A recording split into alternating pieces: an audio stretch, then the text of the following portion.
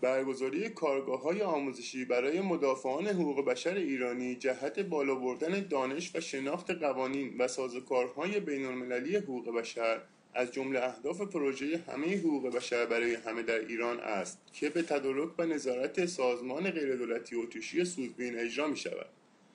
سازمان غیردولتی سودوین که از سال 2010 در شورای حقوق بشر از طریق تنظیم موزگیری های خود و تدارک اجلاس های موازی در مورد وضعیت حقوق بشر در ایران توسط نمایندگان خود در شورای حقوق بشر حسن نایب و شعله زمینی شرکت داشته در همین راستا روز 6 و 7 سپتامبر سال جاری و در جریان 27 مین اجلاس شورای حقوق بشر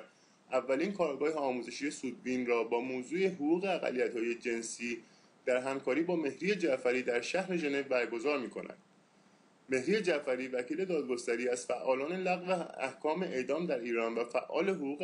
های جنسی در خصوص این کارگاه آموزشی می‌گوید ما امیدوار هستیم با برگزاری این برنامه آموزشی کمکی کرده باشیم به بالا بردن سطح دانش فعالین حقوق بشر نسبت به اقلیت حقوق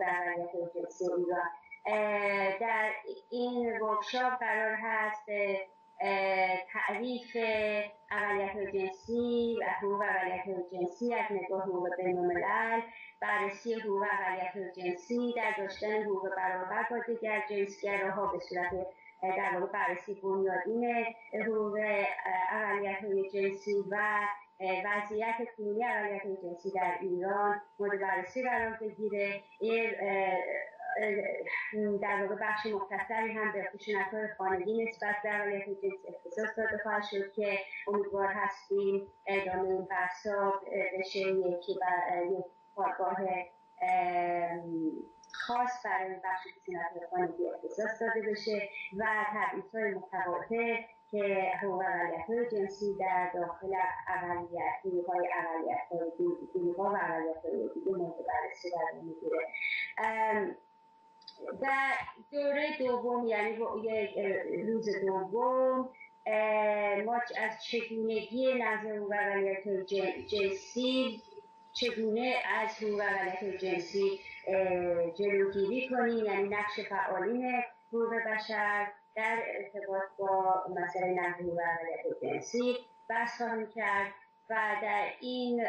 کلاس در واقع ورکشاپ ما می‌خوایم بدیم که چه کمکی از دست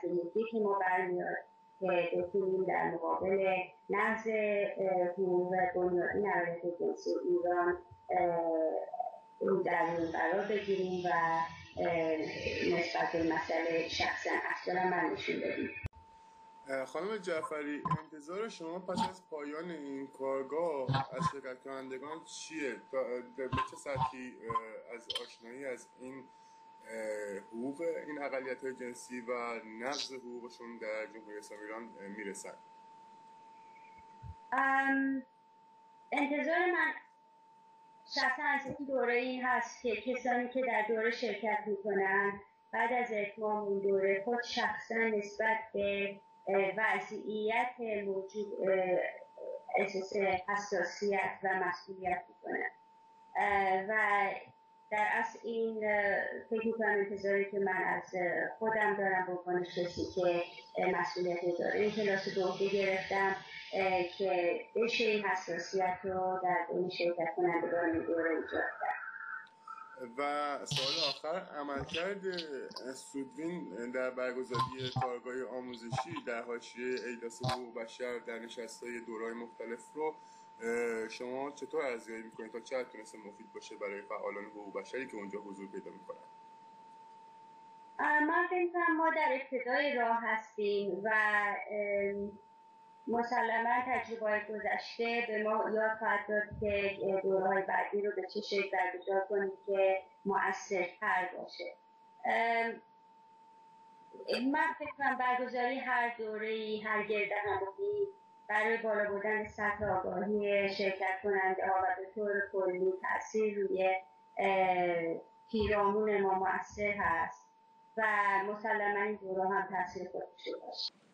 در همین خصوص وبسایت همه حقوق بشر برای همه در ایران طی فراخانی ضمن دعوت از علاقمندان به شرکت حضوری و یا آنلاین در این کارگاه اعلام کرد که علاقمندان می توانند با ارسال ایمیل به آدرس پستی ایران